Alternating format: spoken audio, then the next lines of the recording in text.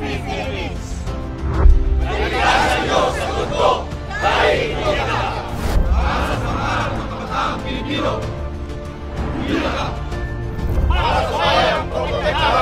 The war on drugs is much like a tree. Para itong isang puno na maski putulin natin ang sanga, may panibagong sanga na tutubo at papalit. Kaya kung gusto mong putulin ang puno, kailangan tanggalin ang pinaka-ugat nito.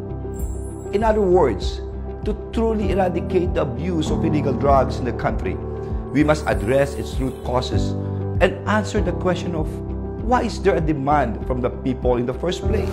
Seryoso, desidido, at higit sa lahat, may aksyon. This is our whole of nation effort to eradicate illegal drugs in the country. Kaya naman, ang ating panawagan, buhay ingatan, dahil dito,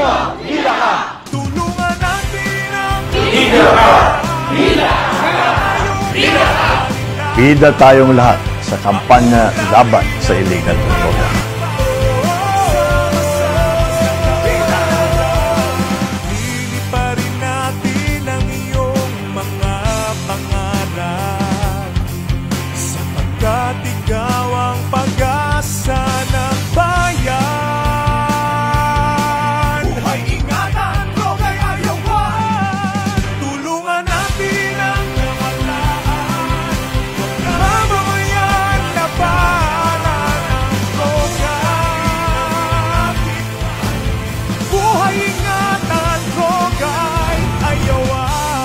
Dahil dito, bida ka!